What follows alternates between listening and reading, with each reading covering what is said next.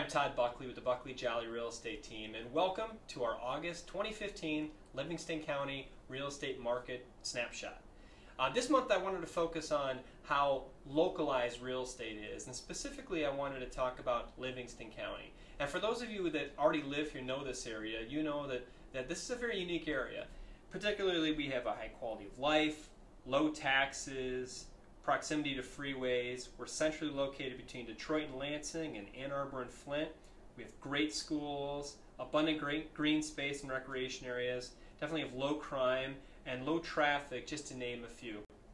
So when we're talking about real estate, Livingston County is also very different. So keep that in mind when you see reports on in the newspaper, on the radio, or even seeing billboards about what's happening in southeast Michigan.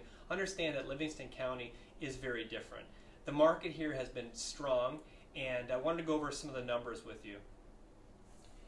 The number of homes and condo sales year to date are up 5.4% from a year ago, the, um, which, is, which is very good. The average sale price year to date is up $16,000 to $228,454. Again, that's year to date. And the average days on market year to date is 62 days versus 67 uh, year to date uh, last year at this time. So now, even within Livingston County, every every price point is going to be different than if we're in Howell or if we're in Brighton or if we're in Pinckney and that sort of thing. And it certainly depends on neighborhoods and that sort of thing. I just want to give you an example um, of how that might look.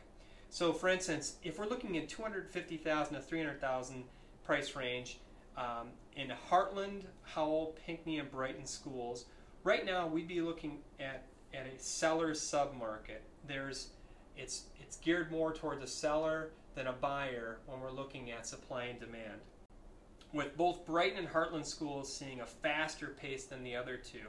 However, when we jump up to 350 to 400,000, Brighton schools is the only area that be considered a seller submarket. Hartland schools have a balanced submarket in that price point, and uh, which means it's neither a buyer's market nor a seller's market. And Howell and Pinckney schools between 350 and 400 are definitely in a buyer's submarket with more listings and fewer buyers. The bottom line is the market continues to change, and you need to talk to your local real estate expert, specifically in Livingston County, so that they can tell you what's happening in your neighborhood. Here at Buckley Jolley, we made an effort to only focus on Livingston County and the surrounding towns. We know that we could work throughout southeast Michigan, but we're not going to be experts in those areas, and we want our clients to know that that they're going to get the best effort from us and get the very best service because we just focus on this area. So here at Buckley Jolley, we're helping you get where you want to go. I'm available at 810-229-7000.